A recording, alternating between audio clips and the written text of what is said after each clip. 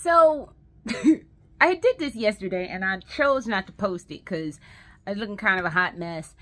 I'm, I look a little better today and I'm bored and I have time. This is exactly what I said on TikTok. I am bored and I have an, an ass load of time. So here we're going to go. So what the fuck is happening right now is for whatever reason on Twitter, because we're still going to call Twitter, we're not calling it X. We, we have said on, on, um, TikTok, dead naming is wrong. You should never dead name unless it's Twitter because fuck Twitter.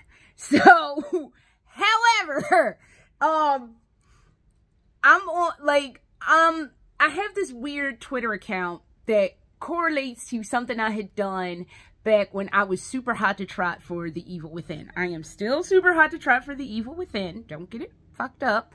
But it's kind of a little disappointing in Evil Within 2, neither here nor there, not important to the story. But um, when Evil Within, the first game came out, they had all those, like, Sebastian would pick up the newspaper, the Crimson Post. So I started taking the headlines on those Crimson Posts in the game and actually turning them into real articles. So if you look on the internet and you type in the Crimson Post, you will most likely find my articles that I had up there.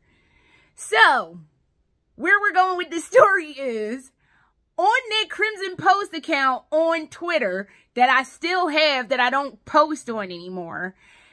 I, for whatever fucking reason, am synced into the Metal Gear community. Do not ask me how this happened.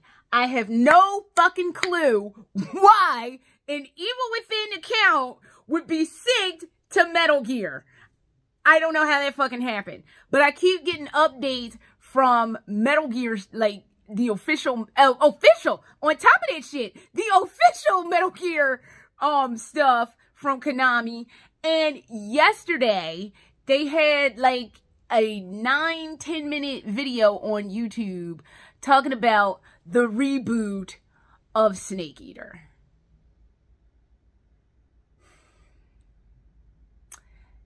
If you don't know, Snake Eater is one of my favorite fucking games on earth. See back there? That second row, it's got the little orangey things like that. That's Calorie Mate back there. Those are two boxes of Calorie Mate from Metal Gear Solid 3. So I got those in Hawaii last year, but they sit up there in that Metal Gear row because up there is my Metal Gear row. At the top is the Resident Evil row the little bit of Resident Evil stuff I still have, but that middle section right there is all Metal Gear. Most of that is five, five different copies of Metal Gear Solid 3. I loved that game that fucking much. I have it five different ways. Two of them I cannot play because two of them are Japanese games. And I and while I have a Japanese PlayStation 1, I do not have the ability to play Japanese um games. So actually no, it's two. It's legit two. Because I have the 25th year anniversary box set of Metal Gear, the entire Metal Gear series sitting up there. And I also have, it is this ultra rare DVD of MGS3. I forget what it's called, but I have that too. And I, I was like, I, I, if I don't, if I have to, this is happening. And I don't know anybody in America, almost in the world. I don't know who the fuck owns that besides me. So I managed to get that from, um, I forgot where the fuck I got it from, but when I got it, I was still working and like I almost, I, I was, I could have gotten fired that day and I'd have been like, I don't give a fuck. I got my fucking rare shit. So fuck you. But, um, that's not what this is about. So long story, long story short of the story is Metal Gear Solid 3 is my all-time favorite game. It is my favorite game to this fucking day. It, it, I don't know. Actually, I do know why I love that game. That game took me through every emotion humanly possible. Me and my best friend, and this is back when I would play shit. I don't play video games that much anymore. I kind of just tend to watch them because I just, I don't feel like playing the shit and then getting frustrated. I'm too old to be trying to replay shit over and over to get it right. I have realized that about myself. If I don't get it right the first like four or five times, fuck it. I'm not going to play it.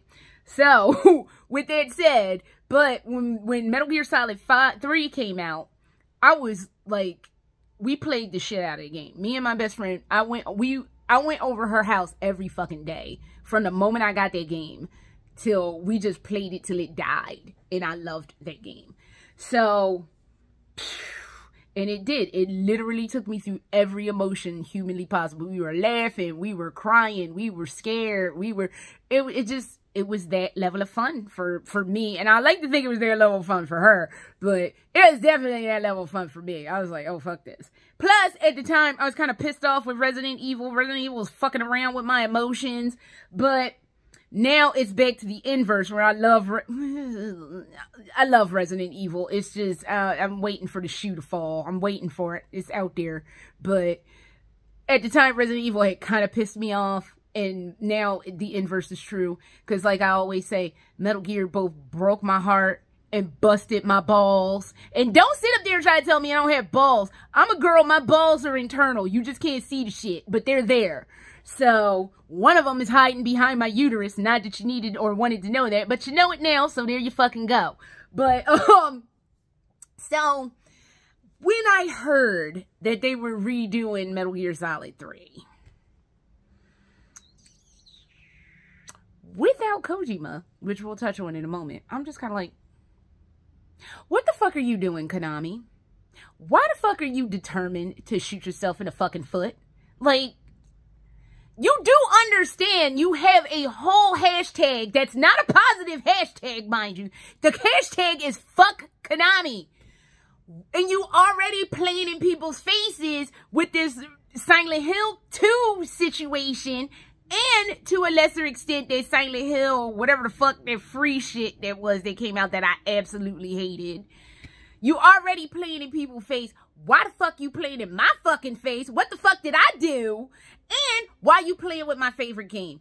And the main part of this is y'all don't have Kojima. Now, don't get it fucked up. Just because I love Metal Gear Solid 3, in fact, I love all of the Metal Gear franchise, or Metal Gear Solid franchise up until fucking 4, and that's a rant for a whole ass other day. But, independent of that shit, um, you, you cannot have that game without its creator. There's only one robot that can do a Metal Gear, and it is its creator. Because I'm sorry, Kojima is a fucking android. I you can you will never in life convince me that man is not a robot. He's a fucking robot. I know he's a robot. I know if you pull something off of him, it's to have all his wiring on the inside. So, I am convinced. I am convinced. So, but or at a low, because there were two people that worked on Metal Gear Solid 3. There was this other dude, and I can't ever remember that man's name. But he was the one that reined Kojima in. Because Kojima, from what I remember from when that joint came out, was trying to go there. Trying to take that Death Stranding route where it was just all too much and it was way too long and it was like 11 hours of bullshit and the other dude was like, uh, no, you need to dial it the fuck back. God bless that man because Kojima desperately needs a fucking editor. So, but even if they got that guy, which I can never remember his damn name, even if they got him in on it, maybe, maybe, maybe I might bite on it. But I don't want to.